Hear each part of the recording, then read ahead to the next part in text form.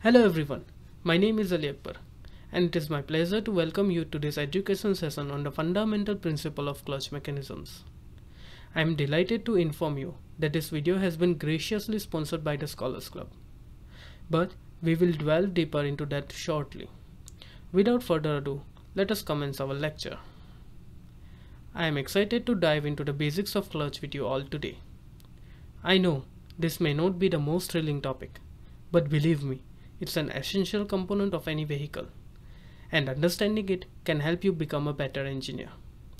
Throughout this lecture, I will cover what exactly is a clutch, the different function of the clutch, its main parts, and the various types of clutch out there. I will even show you some cool videos to help visualize how it all works. And don't worry if you are not a car enthusiast. I will break it all down in simple terms so that anyone can understand. By the end of this lecture, you will have a solid grasp on the fundamentals of a clutch and why it's so crucial for any vehicle. So, let's get started with the first topic that is what is clutch. A clutch is a vital component that enables the engine to connect or disconnect from the rest of the transmission element. Take a look at this figure. You can see that the clutch is situated between the engine and the gearbox. It remains engaged during normal running and stationary positions. But, the but when the driver operates the clutch pedal, as we can see in this video, the clutch plate is forced away from the flywheel. This mechanism helps the engine with starting, gear changing, stopping and idling. But how does it all work you ask? Check out this video to get a better idea of the clutch mechanism. When the clutch is engaged, the engine is connected to the transmission and the power is transmitted through the transmission system to the rear wheel. But when the clutch is disengaged by pressing the pedal, the engine disconnects from the transmission, preventing power from flowing to the rear wheel while the engine is still running. Now, let's dive in and explore more about the functions, parts and types of clutch. First and foremost, let's highlight the primary functions of a clutch. These functions play a crucial role in ensuring the smooth operations and efficiency of the vehicle. First, the clutch allows us to engage or disengage gears when the vehicle is stationary and the engine is running. Think about those moments when you are at a red light on the traffic jam and you need to shift gear without turning off the engine. Second, it serves as a bridge between the engine and the road wheels, transmitting engine power smoothly to set the vehicle in motion. The clutch ensures a seamless transfer of power, eliminating any jerks or disruption in the transmission system. Starting the vehicle from rest requires engaging the first and second gear. The clutch enables us to smoothly disconnect the power from the gearbox, allowing for easy gear shifting and preventing any noise or damage to the gear.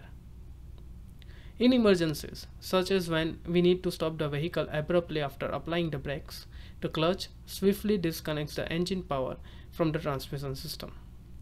This feature ensures the safety and control of the vehicle during critical situations. And gradual power transmission is another vital function of the clutch. It allows the engine to take up the load gradually, avoiding any sudden jerk or shock that could affect the vehicle stability and passengers comfort. Now, before we dive deeper into our lesson, I want to give a shout out to our incredible sponsor, the Scholars Club. They have been a driving force behind this educational lecture and they have got something amazing to offer you. Are you struggling with your studies?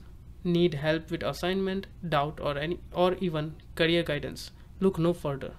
The Scholars Club is your ultimate destination for all your educational needs. From personalized tutoring to a wide range of courses, they've got you covered. And the best part? It's all just a click away. Visit thescholarsclub.com or simply download their user-friendly app from the Play Store or Apple Store. The link is right there in the description below if anybody wants to check it out. Now, coming back to our lecture, let's explore the key component that makes up a clutch system.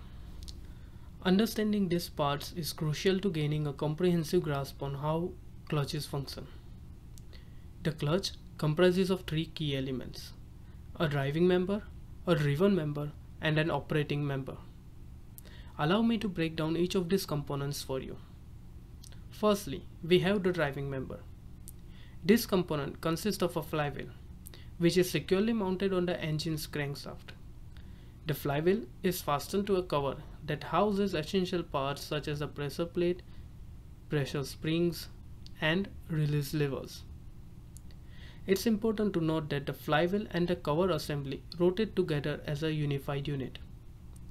As we can see in this animated video, where the flywheel, which is essentially mounted on the engine's crankshaft, also rotates together as a unified unit. To ensure efficient operations, opening are strategically placed in the clutch housing and cover, allowing the dissipation of heat generated during its functioning. Now, moving on to the driven member. We encounter a crucial piece known as the clutch plate or clutch disc. This disc or plate is designed to freely slide on the splines of the clutch shaft, as we can see in this figure. The clutch plate is equipped with friction materials on both of its surface, enabling it to establish a firm grip. When the clutch plate is gripped between the flywheel and the pressure plate, it initiates the rotation of the clutch shaft through the engagement of the splines. This mechanism facilitates the transfer of power from the engine to the transmission system. Now, lastly, we have the operating member. The operating member enables us to control the clutch engagement and disengagement. This member typically takes the form of a pedal or lever that can be pressed by the driver. By applying pressure on the operating member, we can disengage the driving and driven plates effectively, interrupting the power transmission between the engine and the transmission system. As we can see in this figure, when the lever is pressed with our foot, a remarkable chain of event is set into motion.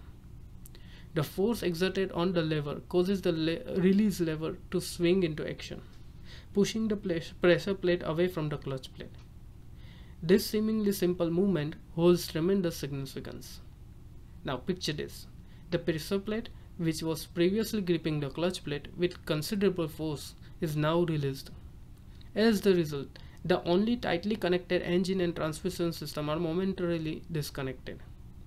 This clever disengagement of the clutch allows for seamless gear shifting, smooth vehicle deceleration, and even the ability to bring the vehicle to a complete stop without stalling the engine. Understanding the role and intersection of these components is essential to comprehending the intricate working of a clutch system.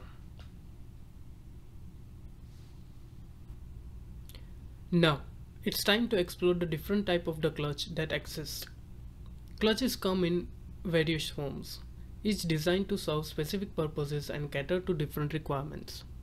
So, let's embark on this journey of discovery together. One type of clutch is the positive clutch, also known as a dog or spline clutch. This clutch operates without any slip, meaning it can instantly engage or disengage the power transmission. Think of it as an in and out type of clutch providing a swift connection between gears. However, it may not be suitable in situations where gradual engagement or disengagement is required without interrupting the power drive. You will commonly find this type of clutch in gearboxes where it efficiently connects gear on the same shaft. On the other hand, we have the gradual engagement clutch. This type of clutch allows for a smooth and gradual connection or disconnection between the power source and the driving component. It operates with a control slip, enabling one shaft to rotate at a higher speed while the other remains stationary or rotate at a lower speed. The gradual engagement clutch can be further classified into two main categories, the friction clutch and the fluid clutch. Let's start with the friction clutch. As the name suggests, the transmission of power in this clutch occurs through rotating friction members, typically discs. When the driving and driven member come into contact, a friction force begin acting between them, causing the drive causing the driven member to move along with the driving member. Initially, the force pressing the two members together is small, and the friction force may not be sufficient to drive the driven member at the same speed as the driving member. However, as the pressing force increases, the friction force overcomes the resistance and the driven member gradually starts rotating at the same speed as the driving member. Once fully engaged, there is no slip between the two members and they rotate together harmoniously. Now, moving on to the fluid clutch. We encounter a more advanced system of power transmission. Here, the power flows through a fluid or liquid medium. This type of clutch provides a seamless and jerk-free engagement of gas while also dampening any potential shock that may occur when connecting a revolving crankshaft to the transmission. It offers a refined and efficient power transmission from the engine crankshaft to the transmission system, ensuring a smoother overall driving experience. Now, moving on, let's focus on the different type of friction clutches. Let's begin with the first type, the disc clutch. This type of clutch can be further divided into two subcategories, the single plate clutch and the multi-plate clutch. The single plate clutch, as the name suggests, consists of a single plate, single clutch plate sandwiched between the flywheel and the pressure plate.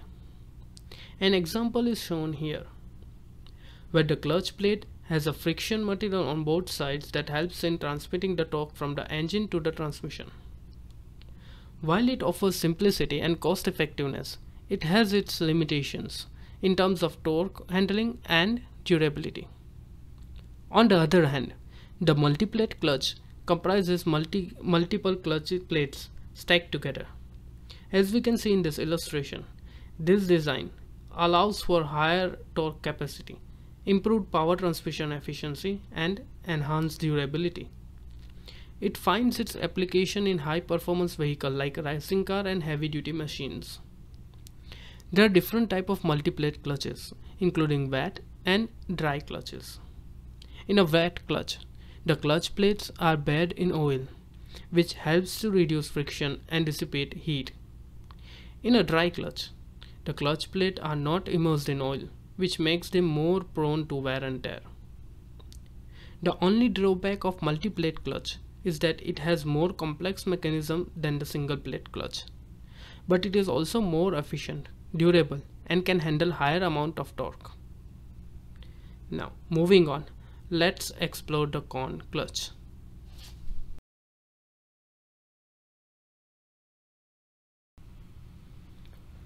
This type features two conical surfaces facing each other, with one connected to the engine and the other to the transmission. The precision fit between the cones enables efficient power transmission, high torque handling and durability. The drawback of cone clutch is that it has more complex mechanism than single and multi-plate clutch. There are single cone and double cone variations, with the latter offering increased surface area for torque transmission. Next, we have the diaphragm clutch. The uh, diaphragm clutch consists of a pressure plate, a clutch disc, and the diaphragm spring. The pressure plate is a circular plate that is bolted to the flywheel of the engine whereas the, the clutch disc is, a, is sandwiched between the pressure plate and the flywheel. The diaphragm spring is a large flat spring that is attached to a pressure plate. This design offers several advantages, including high clamping force with minimal spring travel, smooth engagement and disengagement, and self-adjusting capabilities. The diaphragm clutch is known for its reliability, low maintenance requirements, and ease of operation. There are mainly two types of diaphragm clutch, push type diaphragm clutch and pull type diaphragm clutch. The main difference between the two types of diaphragm clutch is the direction of force applied to the diaphragm spring. In the push type, the force is applied from the outside of the spring, while in the pull type, pull type diaphragm clutch, the force is applied from the inside of the spring. Now next, we have centrifugal and semi-centrifugal clutch. Let's discuss the centrifugal clutch first. It utilizes centrifugal force to engage and disengage power transmission. Commonly found in small engines such as go-kart and mini bikes, this type of this type features a clutch drum and clutch shoe. The clutch drum is attached to the engine output shaft and clutch shoe are attached to the transmission input shaft. As the engine speed increases, the centrifugal force causes the, causes the shoe to make contact with the drum, enabling power transmission. Centrifugal clutch are simple and reliable, and they require no external control mechanism such as clutch pedal or lever. They are designed to engage at a specific engine speed and are typically not adjustable. They are also limited in their abilities to handle high torque loads which make them unsuitable for use in large engines or vehicles that require high torque output. Lastly, we have the semi-centrifugal clutch, which combines centrifugal force and spring pressure for power transmission. Similar to the centrifugal clutch, it utilizes a clutch drum and clutch shoe. The addition of spring pressure ensures smooth engagement and disengagement. While it offers simplicity and reliability, and they require no external control mechanism such as a clutch pedal or lever. It also has limitations in high torque applications which makes them unsuitable for use in large engines or vehicles that require high torque output. Now that we have clear understanding of clutch functions, let's explore the key requirements for an efficient clutch system. This requirement contributes to the overall power, overall performance and longevity of the clutch. A good clutch should enable smooth and gradual engagement to ensure a seamless transmission between gears. The clutch must efficient, effectively transmit the engine torque to the transmission system without any power loss. Power management of inertia and mass within the clutch system is crucial for efficient operation and response. The clutch should be designed for easy for ease and effortless operation, ensuring a comfortable driving experience for the user. Effective heat dissipation is essential to prevent overheating and maintain optimal clutch performance. The choice of high quality friction facing material is vital for reliable and durable clutch engagement. The clutch should have mechanism in place to dampen vibration and reduce any unwanted noise or discomfort. Next is proper dynamic balancing minimizes vibrations and ensure smooth operations enhancing overall performance. The clutch size should be suitable for the vehicle's power and torque requirement, providing optimal performance and durability. A well-adjusted clutch should have the appropriate free pedal play to ensure precise control and prevent unnecessary clutch wear. By fulfilling this requirement, a well-designed clutch system can enhance the overall driving experience and contribute to the vehicle performance and efficiency.